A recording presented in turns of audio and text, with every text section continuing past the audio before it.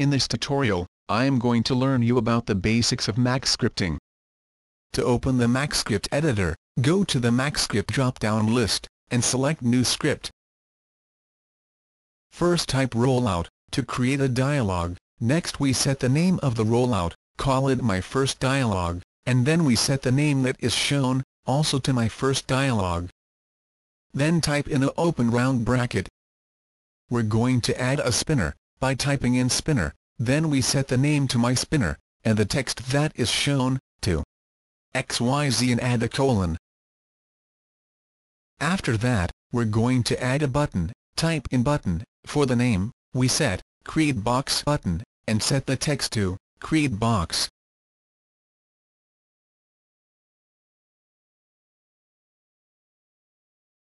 Next up, we're going to give the button a action to do.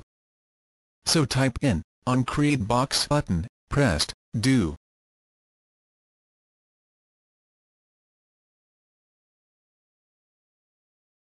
Then open a round bracket.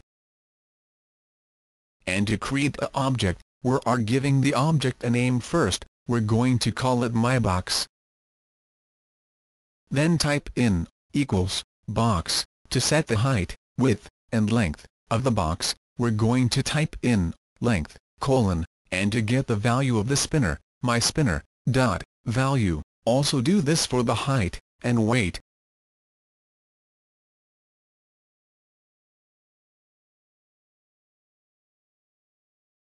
Then close the button action, and roll out, with a round bracket. To open the dialog, we have to type, create dialog, my first dialog.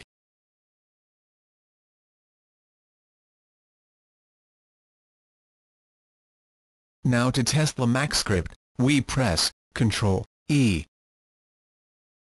Now you can see that when we press the Create box button, the box is made with the height, width, and length of the value in the spinner.